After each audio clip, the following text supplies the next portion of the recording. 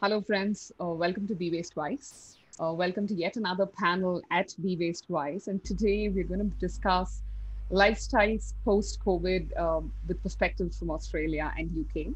Uh, I, we understand that in a good part of the world, the cities and the countries are still dealing with COVID, but the purpose of this discussion is uh, is the fact that COVID has really shown how we could all change and adapt our routines at the face of a challenge. So the conversation today is going to revolve around whether these changes could uh, essentially be made into long-term behaviors for effective change uh, to support our environment by and large.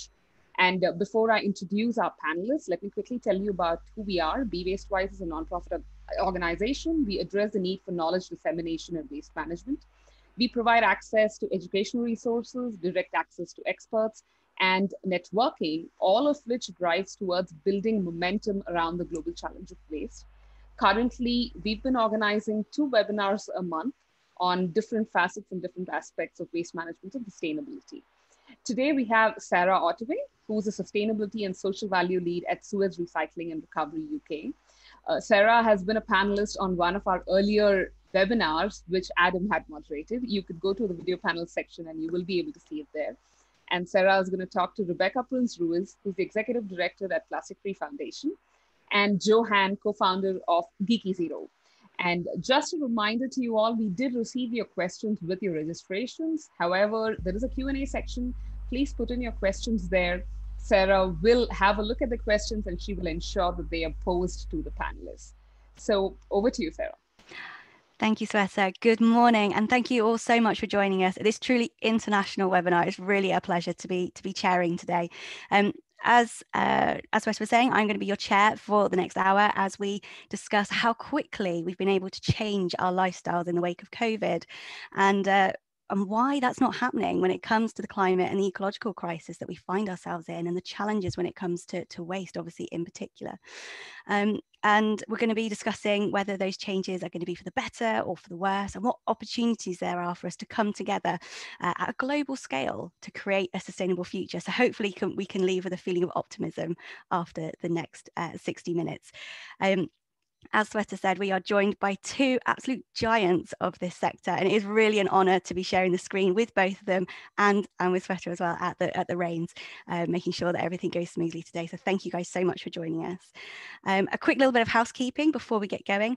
Um, obviously, we've got the Q and A box, so as Sweta said, put your questions in there because the majority of today's session is about that discussion and really getting into the detail. Um, there is the chat box as well, so if you've got comments, if you've got thoughts on what we're talking about add them in so we can feed those into the discussion too. Um, we are recording today's session at the same time. And obviously, Sweta will tell you more details about how you can catch up if you have any technical issues or if the kids start screaming in the background or anything like that at the same time. Um, so just give you an idea of the format, I'm going to pass over to both of our wonderful panelists um, individually. They're going to share their perspectives on this topic and a little bit more about who they are and where they come from.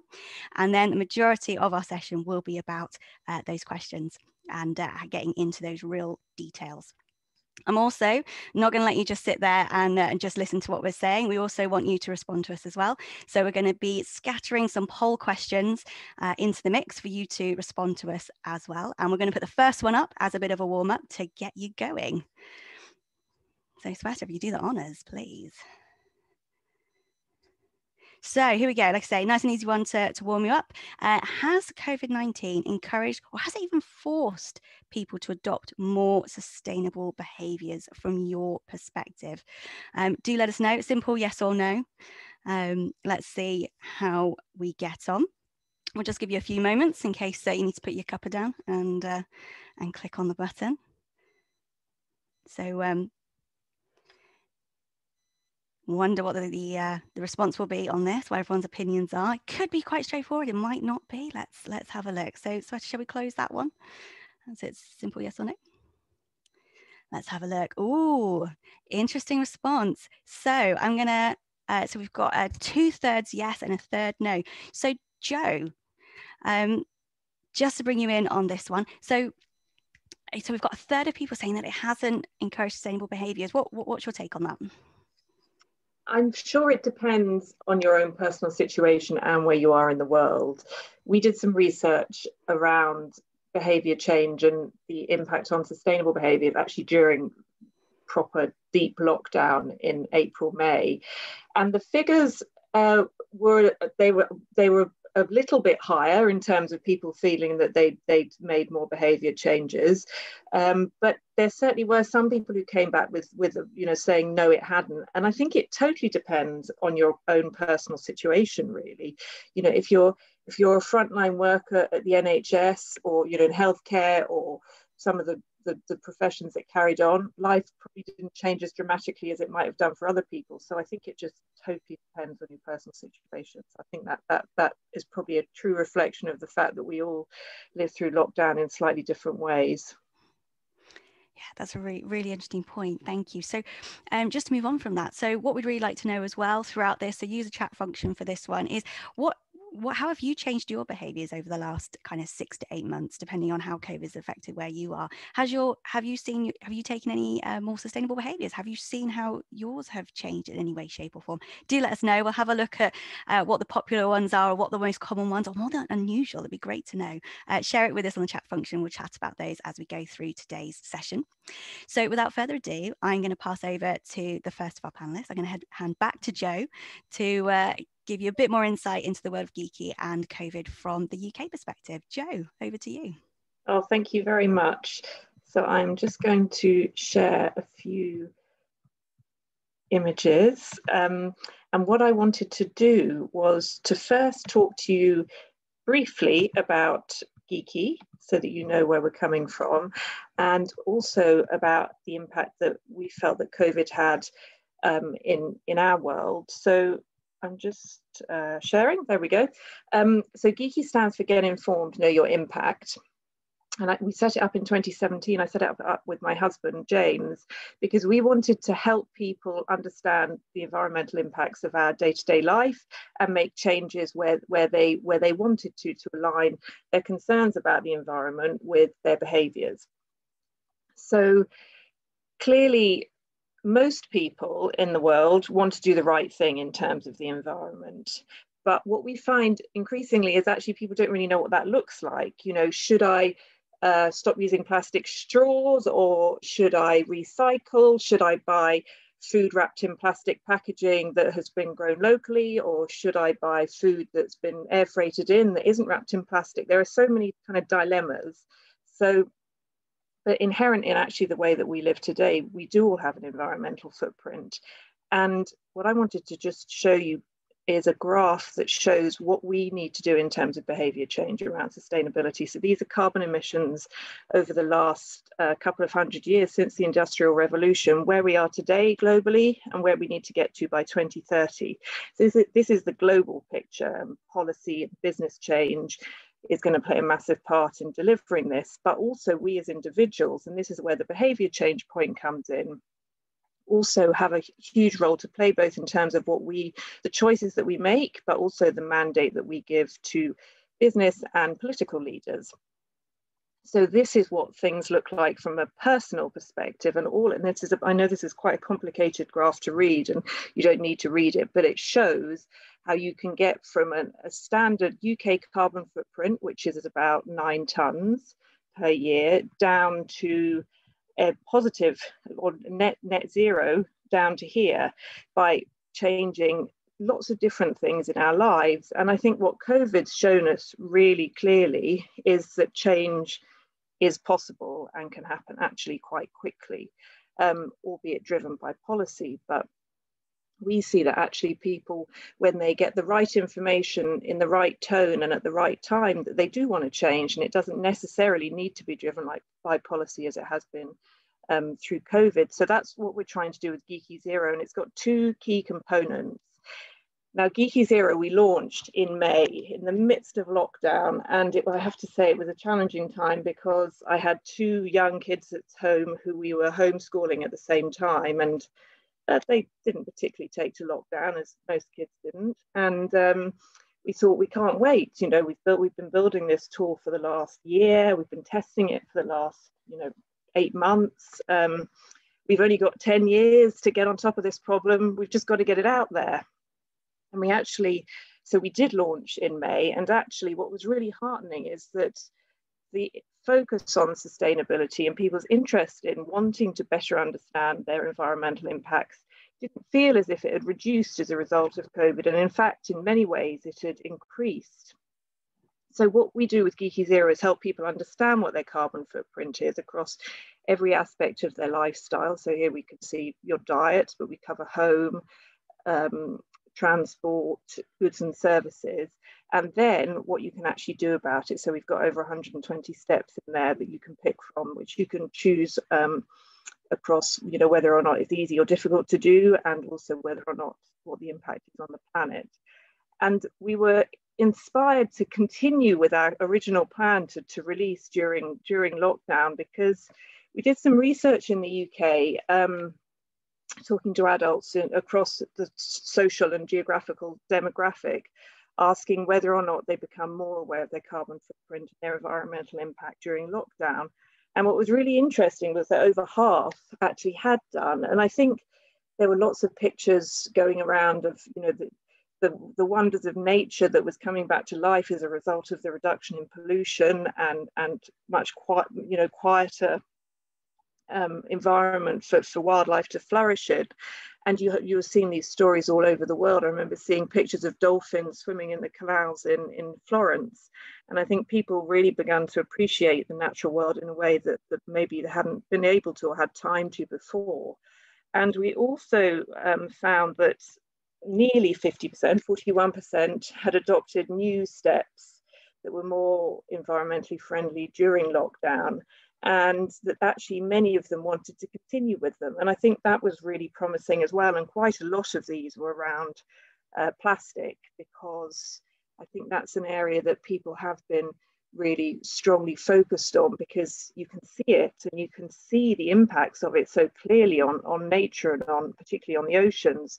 So things like recycling more, um, avoiding uh, products with, with heavy plastic packaging were, were steps that people um, cited as being things things that they'd started doing to, during lockdown and that they wanted to continue doing.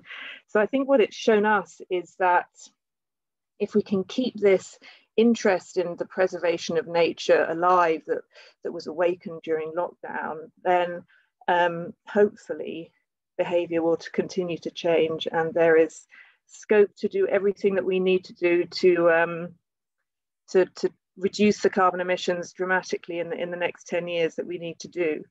So I'm going to pause there and we, I believe, are going to hear from Rebecca next. And then I'm looking forward to discussing the, the findings of the research in more detail as we discuss later on. Fantastic, thank you, Joe. And obviously, if you've got any questions about Joe's um, about Jo's research, as you've just been talking about, please do send them through. I've got them piling up here, but I'm going to save them for the question and answer session, and I'm going to throw the floor straight open over to Rebecca to uh, bring in uh, the plastic-free and Australian perspective on COVID. Rebecca, over to you. Thank you. Um, so 2020 was not the year that many of us were expecting. It was the 10th year of plastic free July. And uh, from a personal level, I think I've learned a lot about about like you know it's already been said that there you know we we saw that people could make change very quickly and importantly for the right reason. And so we did actually have a conversation in was the end of March, like should we go ahead? Obviously, human health was paramount, um, and people were under so many different pressures from from the health issue to you know the challenges of living in lockdown with families and and um, job losses and financial pressures and we work very closely with a behavioural scientist. So we got together in May and I called him up and just said, Colin, you know, what should we do? Should we not do plastic? Should we cancel plastic free July? Should we um, make it plastic free September? And at that stage, you know, he commented on like the interesting trend that was emerging of people baking more, making things from scratch. Um, here in Australia, and I know in other parts of the world, there was shortages of things like flour or running out of seedlings. People starting to plant stuff in the garden, and you know how he explained it to me is like in this time where so many things are out of our control, actually taking back control and doing something positive was really important to people. And so the feedback that we started to get as we started to talk to people and businesses and local governments and corporates around the world, you know, many of whom were in lockdown or working from home, the feedback that we really got from people was actually one of the positives of this is it gives us time to start to look at some of our habits and choices and behaviors to try new things um, to spend that time figuring out how I sort my recycling properly or how I might make something from scratch to reduce the, my packaging, etc. Um, or try some alternative products in the bathroom. Or, um, there were just so many things that people wanted to do and and make a difference. So um, we've just um, in the process of reporting on the impacts of Plastic Free July 2020, and this is a campaign that from I'm not sure how many of the people listening this afternoon or this morning, depending where you are in the world, um, have heard of Plastic Free July or participated in it before, but it's a it's a campaign to encourage people and help and support people to reduce and refuse single-use plastics and it's not about swapping out single-use plastics for single-use other materials. It's really about waste avoidance. And it's a campaign which has grown from a personal challenge to a, a global campaign. And it's about not just a few people or the converted doing everything. It's not about being able to fit your year's worth of landfill waste in a mason jar. Um, I'm certainly, it's great that people can do that. I'm certainly not, not one of those myself yet, but this is about getting a lot of people making small changes at the same time. And what our research has shown is that when, when that happens and lots of people make small changes and just reduce their waste by 5%, which is, which is what we have found that people participating in Plastic Free July does, then that starts to add up to a really big impact. And I think kind of, you know, that's what we've seen in COVID as well. When we all do the right thing, it doesn't take much to shift and, and get a big impact. And I think that you know, it's easy to think, well, what difference can one person make? But individual behavior change at that at, at, at scale leads to a cumulative impact. And then, you know, when we as a cult, when we start to change culture and we get these 5% shifts, you know, when we all start to pick off those things in that graph that Joe was showing, then we start to change our culture. We put pressure on business and government, and that then leads to that then leads to system change. And so I'm just gonna um, just gonna share with you if I can figure out my right screen here. Um, some of our results from Plastic Free July 2021. I can't immediately see the right screen. Um, might just have to yeah, just go into this. Um, so, um, so I've got my own image over the top of it. Okay, so the kind of the kind of quantums and the numbers that we're talking about when um, so this campaign back when we, I started it in 2011, there were 40 of us participating, and it's really a grassroots campaign. We don't have a media budget; it's grown through word of mouth, and our estimates are that this year 326 million people around the world took part and together avoided 940 million kilos. You can, my math isn't good enough to just convert that into pounds off the top of my head, but we're starting to get massive uh, waste avoidance happening. And what happens, we also measure um, through our general population surveys policy, uh, people's support for policy change. This is going beyond the individual behaviour change to um, asking questions about, you know, should uh, producers and manufacturers take responsibility for their packaging? Should um, producers be required to use recycled content? And uh, it was really surprising. So we had 92% of the general public saying they supported those actions, and that was up from 80% last year. So despite the challenges and despite uh, through our research 66% of people said it was more of a challenge this year to reduce their plastic waste but they still managed they couldn't do everything. They maybe couldn't you know use their reusable shopping bag or uh, take a reusable coffee cup but there were still other things that um, people could do. And this is just a, a lovely spread of images from our uh, annual impact statement showing plastic free July around the globe and whether it's an elephant park in Laos that shifted to reusable water bottles and use things like bamboo leaves for uh, not bamboo leaves um, banana leaves for their plates to uh, aged care homes in New Zealand that went to um, stopping using single serve plastic packaging to sports centres in Australia putting in water bottle refills when they reopen, to hotels switching from liquid soap to bar soap, to people growing their own food.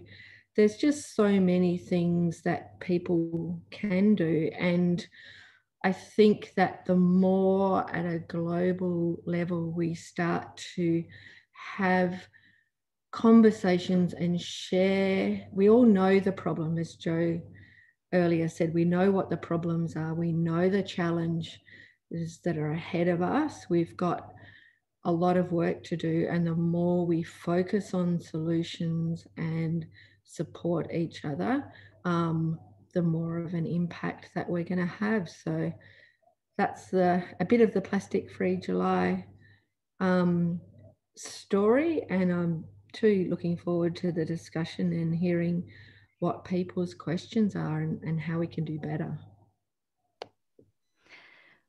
Fantastic. Thank you so much, Rebecca. That was really interesting. Um, so we've had a few questions come in. So Joe, I'm going to come straight over to you, just uh, as immediate responses to your guys, um, to your guys' presentations and your your chat so far. Um, was uh, what's the biggest change that you saw through the research in terms of the, the behaviors that people reported that they had individually changed? And it, does that match up to what you're seeing through the changes made through Giki Zero? Oh, that's interesting. So the biggest change was recycling more. About a third of people said that they were recycling more. Um, at the same level was using bags for life um, and also trying to conserve electricity, so turning off the lights, you know, turning off your um, appliances. And then they were followed by things like uh, taking walks locally rather than um, driving for exercise, uh, which may have been more, you know, that was definitely more of a product of the rules as to what you had to do. But interestingly, people, I think, then discovered the wonders of their local area that maybe they hadn't always been aware of before. So that was um, they were the most popular ones. Food waste was also a popular one. And what was also interesting is that three quarters of people said that they intended to, to continue with these changes that they'd made in the long term. Now, how that's playing out in Giki Zero, what's really interesting is that people, because we're all different, because we all have our, carbon footprint and our broader environmental impact is different, both in terms of uh, you know what we eat and how we dispose of our food and all that kind of thing, um, but also um, you know do we travel a lot? Do we live in a city in a well insulated flat, or do we live in the countryside? Which certainly in you know countries with lots of old uh, buildings they can be drafty and very badly insulated. Um, and so the changes that people need to make to get the biggest impact totally depends on your own personal circumstances. So I would say that what the, the biggest trends that we're seeing in Giki Zero is that people tend to start with the smaller, easier steps, not that surprising. But then once they feel good about the fact that they made some initial changes, that can then give you the confidence and the and the inclination to actually take on something a bit more challenging. So, you know, a really, a really popular one, which which is one that people always say, oh, yeah, I hadn't thought of that, which I have to say I hadn't really thought of probably before, is put lids on your saucepan whenever you're cooking because it just saves a bit of energy, saves a little bit on your bills, but it also just gets you into the mindset of thinking about these resources are not just sort of uh, there in you know that never ending keep on coming forever and ever it just makes you value a little bit more everything that we have access to. Um, so a lot of the smaller steps are actually about beginning to help people have a little bit of a mindset change. Um, and actually, uh, some of the other smaller popular ones are things like changing from uh, shampoo uh, in a bottle to shampoo bars. Um, somebody I was talking to the other day had had a had a heated discussion with somebody in the supermarket, uh, one of the ladies who was stacking the shelves. Why haven't you got bars of shampoo? She said, Well, we just don't stock them. And he was like, Well, why not? You know, everybody wants them now. And I think that that kind of conversation is what will begin to, to you know, push companies to provide the kind of goods and services that, that people want. That was a long answer, sorry but an interesting one. So don't don't apologise for that at all. No, no, no. That was fascinating. And a quick question for Rebecca as well. Obviously, plastic free movement is now you know globally recognised. We've got hundreds of millions of people involved. What's the what's the long what's the next step for the foundation? What what, what are your ambitions for uh, for the future? Um, so our our big picture vision is is not for a world without plastic. We do acknowledge that there's a role for plastic, but it's a world without plastic waste. So we don't want to see plastic ending up in our environment. We don't want to see it ending up in our landfills. And I think that, you know, I think that we've um, we've had a lot of wins over the last 10 years. You know, 10 years ago, people weren't talking about single-use plastic or disposable plastics, and now it is very much in our you know, a topic of conversation. We've seen plastic bag bans coming in. We've seen, you know, bottle refund schemes. Um, but the, you know, despite everything, you know, the recycling, we've only managed to recycle 9% of all of the plastic that's ever been produced. And recycling is really important. But I think at the one of our fundamental problems is that it is generally cheaper and easier for producers and manufacturers to use um, virgin plastics than it is to use recycled content. So I think, you know, some of the thing, I think food packaging is going to be the very big challenge. And I think that our, our governments need to set those frameworks, whether it's through requiring minimum mandated um, amounts of recycled content or uh, you know a tax on vir- virgin plastic but we have to do something to this you know when we when you look at the figures of plastic production set to quadruple by 2050 versus this recycling rate that's pretty much stagnant at that 9% globally this this gap which is the plastic waste is just ever increasing and we have to do something fundamentally to change the, the market and the economy where where it's linear, where it's take, make, throw. And I think and move towards that circular economy, which goes beyond just recycling and waste to looking at product design, looking at looking at looking at communities as well and how we can start to value the resources um, and not consume in the same way that we are now, but that as we make these kinds of transitions, it's it is uh, there are those social and community benefits as well shifting from this you know from this take make throw to a circular economy which is a service economy and we have all those labor benefits as well yeah, and that's and that's a key part of this whole debate, isn't it? Is that we're not just looking at one part of the sustainability agenda; it's the whole. The, it's the social, the economic, and it's the environmental, isn't it? All as as one piece. That's very true. Thanks, Rebecca. So uh, you guys have been sharing with us your uh, the changes that you've been making. So it's been fascinating to see what you've been putting up on the chat. So thank you for that. So you know, we're seeing you know you're, you're flying less, you're not eating out as much. I some of that obviously is is forced, but spending less in general. What else haven't been saying? Uh, uh, working from home home, getting out and exercising every day. I've got to admit, I've been doing that. I go for a walk every morning as well. It's wonderful. I'm not just running for a train or jumping in a in a car. Um, it's it's great and i think there's well uh, eating less meat less food waste. I know that's something here in the uk that's been uh, reported quite a bit on is is that reduction in food waste because we're spending more time thinking about what we're eating preparing and make sure we've got the right stuff in the right place. Also helps if you can't buy certain things in the supermarket. I suppose that makes us think a little bit differently as well.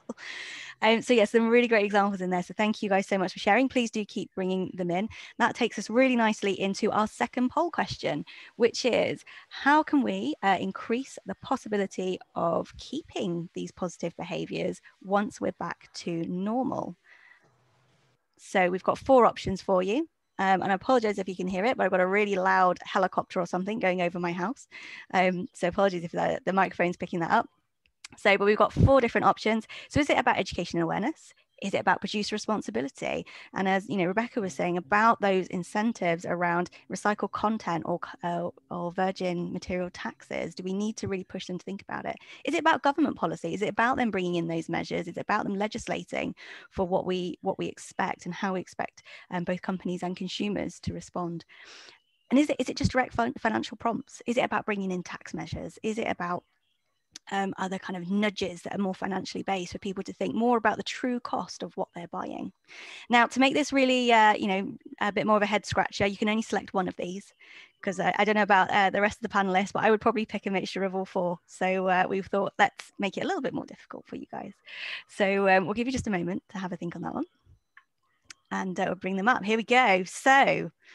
Uh, an interesting mix. So I'm going to come over to Rebecca for your thoughts on those panels. So obviously education and awareness is the big one, followed closely by government policy. What do you make of that, Rebecca? I think they're all right. You know, there's no one single silver bullet. Um, I've just lost those results there. Um, to to solving this problem, and I think it's going to take action um, at, at all those levels and um, and as I said before, I think you know, I think one can lead to the to the other as well, so that you know that that you know I don't think that we would you know in my state we have just um, at the on the first of October my state of Western Australia we just introduced a container deposit scheme, so where you get take back you pay a 10 cent deposit on beverage containers and then you take them back and get your 10 cent, cent refund and that that's paid that 10 cents and the cost of running the scheme is paid for by the beverage companies. And you know we would not have that scheme that scheme has taken 10 years or more of campaigning from individuals from community groups, from local governments, from people running events and, you know, trialing it to see if it worked. You know, we ran one back in 2012 and got a grant of $500 worth of 10 cent coins from the local bank because everyone said, oh, no, no one will do that anymore for 10 cents. And um,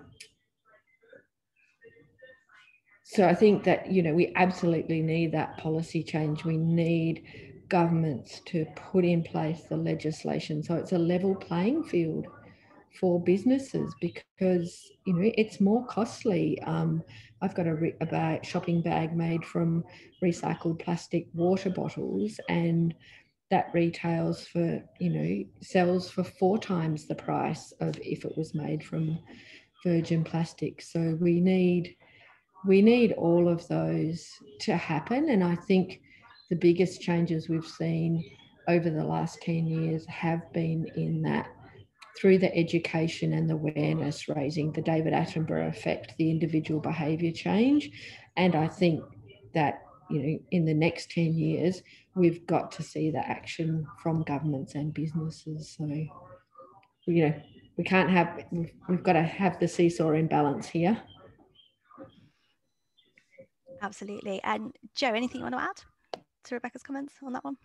Yeah, I just totally agree. I think we've got to the stage because we've so fantastically successfully ignored all the set all the messages that nature's sent us for the last 30, 40 years, you know, particularly around carbon emissions, but also around plastic and uh, the impacts of humanity on um, on nature and and animals the warning signs have been there for a long time and we've merrily ignored them. And as a result, we have much less time to actually make the changes that we have to make before they become totally irreversible. And I think as a result of that, um, we need really strong policy change, we need business transformation, and we need us as individuals to um, take uh, take pleasure and ownership in in working towards protecting the environment in the broadest possible sense because if we don't it won't be as it is now for that much longer and and uh, we won't be able to do anything about it then. So i think yeah we've got to do everything from every angle really now and we can do it. I mean we do know how to do it which is the great thing. We we know what all the answers are. We just have to prioritize them Thanks, Jo. And I, th I think the, let's uh, let's go on to one of the one of the questions from the audience now. So uh, you've been sending them in, obviously pre pre today's session and throughout the conversation we've been having already. So thank you so much for that. I think one that's come up probably more than any others is um, a question around around wealth and that a lot of these behaviors are often associated with a financial cost. So whether that's you know buying a, a reusable cup or buying different alternatives such as shampoo bars which can be uh, on the face of it more expensive. So are we is there is there an issue when it comes to the financial side of um, of sustainable behaviors? You know and how do we bring everybody along with us regardless of their financial position uh, in in life. So, so Jo, how how would you respond to that sort of question? Yeah, I think there are two key points to that. Firstly, generally, the richer you are, the bigger your carbon footprint, and the bigger your environmental footprint. There was some fascinating research that came out recently from Oxfam that showed that something like the top one percent in terms of wealth in the globe were responsible for a, a, vast proportion of carbon emissions globally. You know, some but bearing in mind that the UK average footprint is nine tonnes, we are well above the global average, which is five tonnes, because we're a wealthy nation here, and as a result, people have bigger carbon footprints. Um, some uber wealthy people have a footprint of about 350 tonnes. So the wealthy are generally the ones who have the biggest changes to make and can afford to make them. So that that you know that's definitely a point that is important to remember. So there are already quite a significant people in the world, number of people in the world who are living a net zero lifestyle by virtue of the fact that they tend to live in, in less wealthy countries. Um, in terms of is it more expensive, we've actually got, so we've got about 120 steps in Giki Zero. About a third of them actually save you money. Um, and I think that's one of the challenges around the sustainability debate that there's an assumption that it will cost you more. And it's definitely true on a product by product basis. A more sustainable product may well be more expensive because it has priced in to an extent its impact on the environment. Um, and as a result, you're paying more for it. But if you live a more sustainable life in the whole, so you, you know, use less aircraft, um, you eat less red meat, which can be very expensive, um, you know, you travel less. Um, actually, not only would you reduce your carbon footprint and your broader environmental impact, but you would also save money. So I think that while there are certain elements of a more sustainable life, like you know eating organic food, for example, which tends to be more more expensive than um, regular food, actually a lot of the changes that you, that you can make do save money. And uh, Rebecca, anything to add to that one? Thank you, Jo.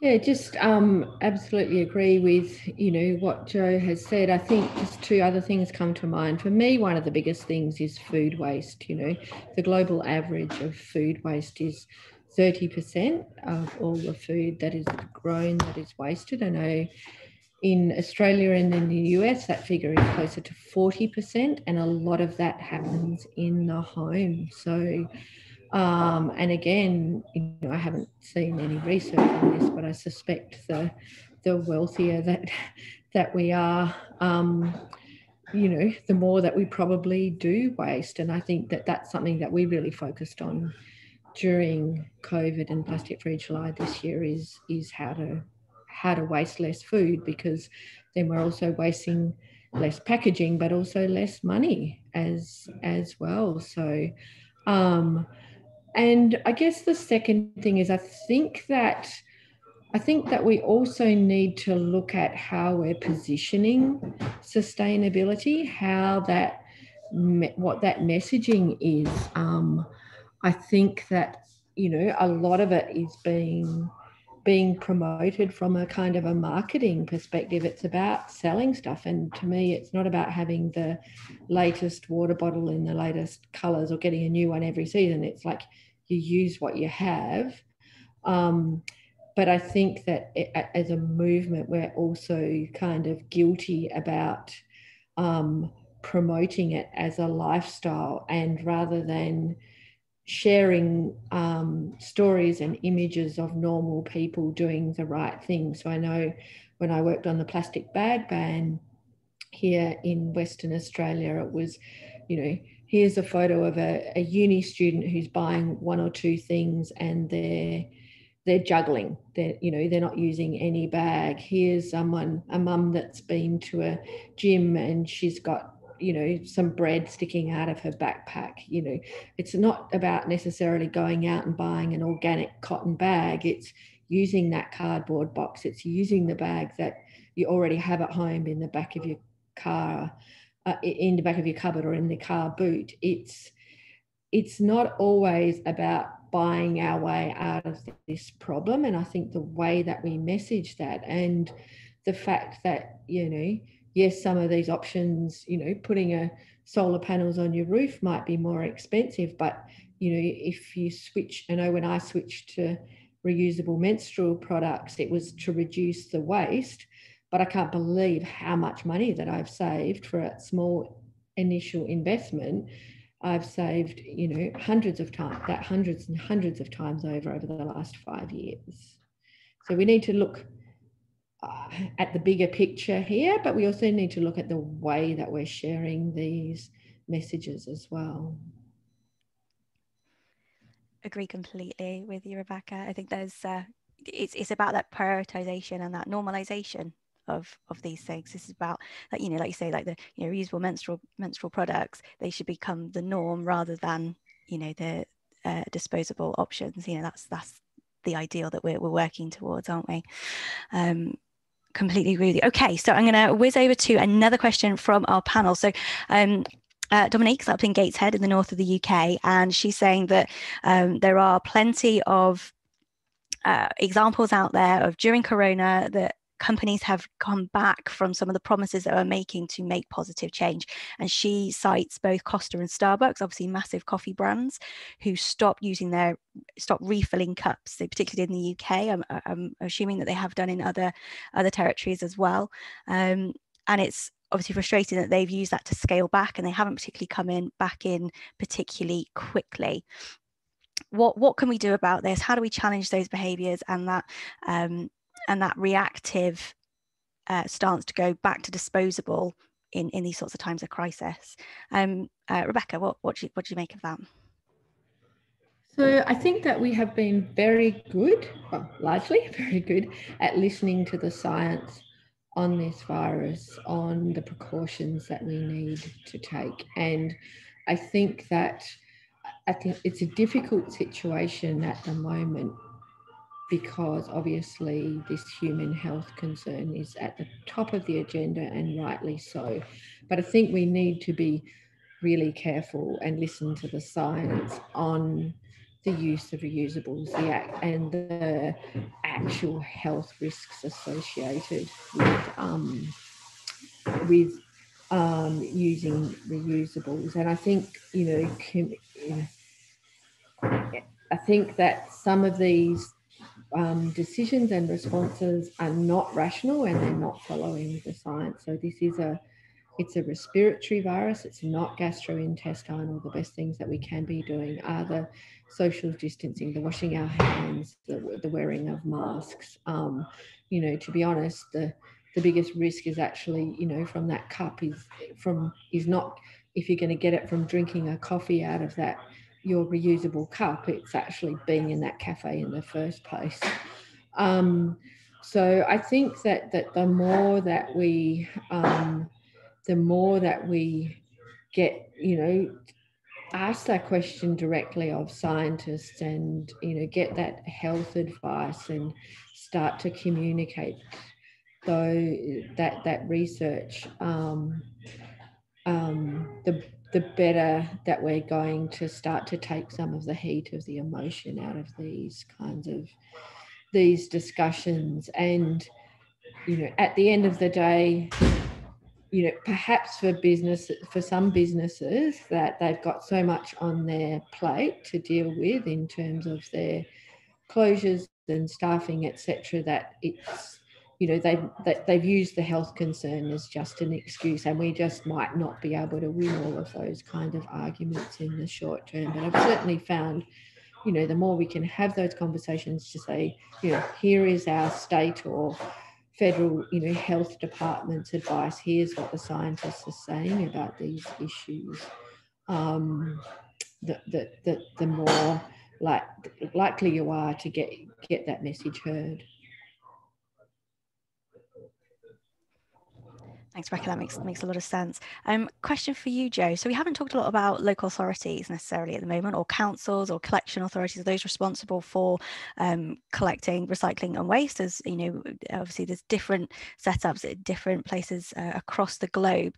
Um, but when, particularly when we're looking at the Western world and the sort of setups that we have, um, how can we bring them into this problem? What's their responsibility in all of this?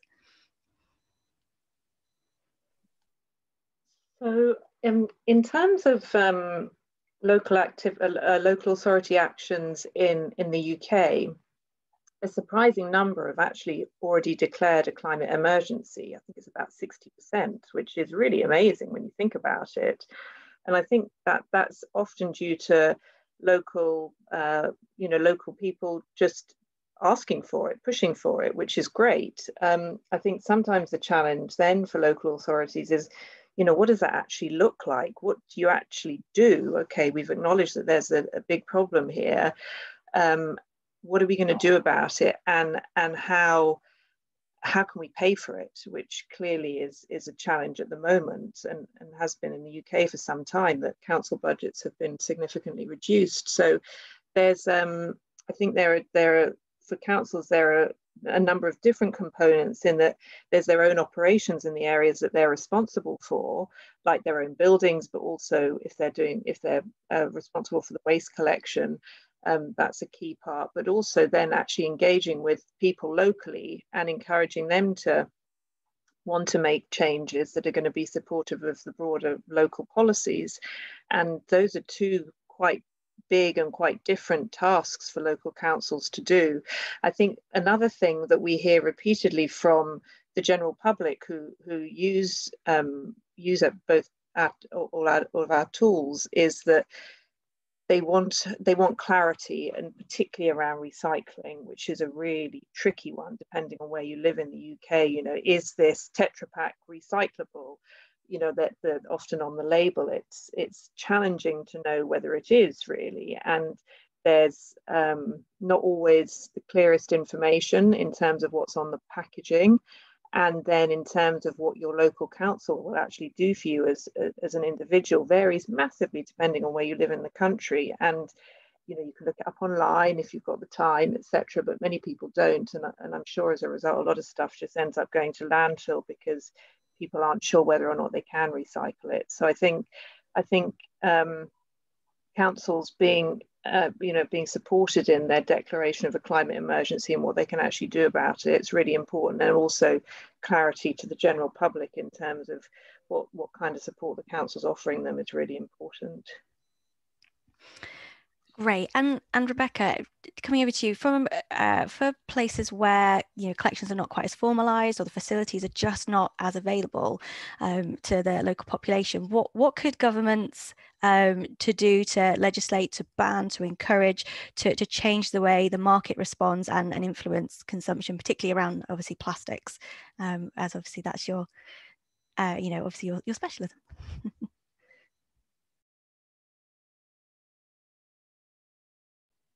Rebecca, you're on mute. Sorry, do you specifically mean like policy at that, you know, local level? Yeah, so where, where, the, where the biggest drivers could be, obviously policy could be one of them, but if a, if a local government hasn't got that formal system to to influence both the market and and the population, what, what other measures could they could they look at doing?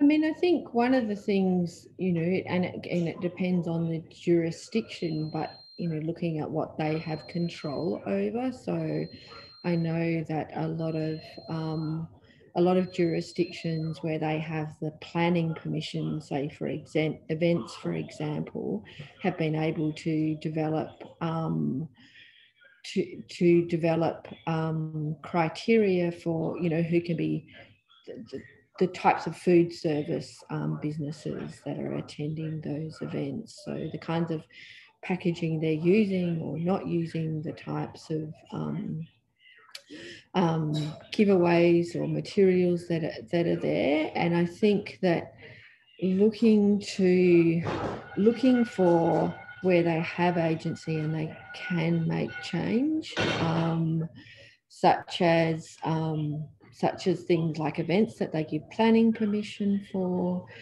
such as you know balloon re- releases is a kind of a great one that that that I've seen a number of jurisdictions take control um, take control um, of and and ban because they're the they're, they're the agencies that are that are giving those planning permits out. So um, and and and it can range from anything from that to um, I was talking to one jurisdiction who um, it was actually their people responsible for their parks and their maintenance and their mowing program realized if they switched around their schedule for their cleanups and did the cleanups before they did a mowing, then they were actually stopping this what was happening before was that um, because they weren't doing the cleanup first, they, when they were mowing, they were just creating these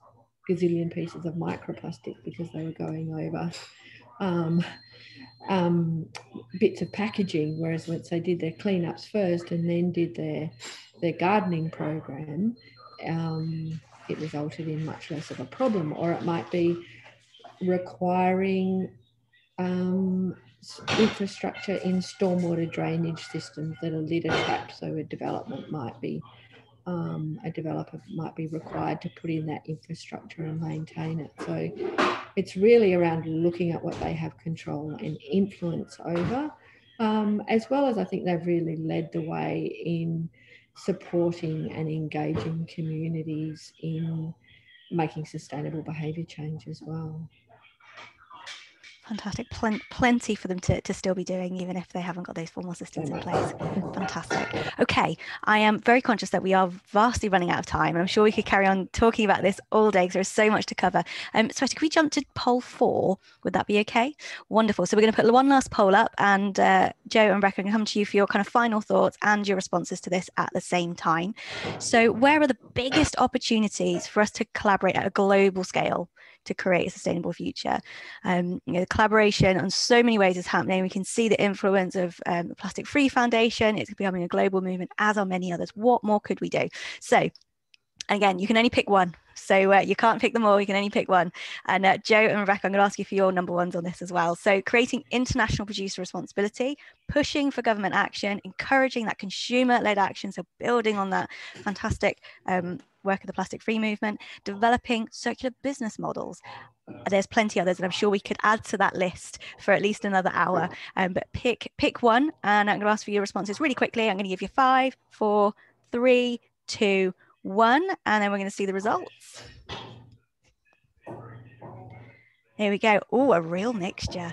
Okay. Um, so a real even mix between the first three and uh, circular business models creeping along in the background. So um, as we have five minutes, like I say, uh, Jo, Rebecca, I'm going to come to you for your your one of those that you would pick if you had to select one and your final thoughts that you're going to take away from today's session so jo i'll come to you first what's your what would be the one of those that you would pick what's the biggest opportunity do you think for us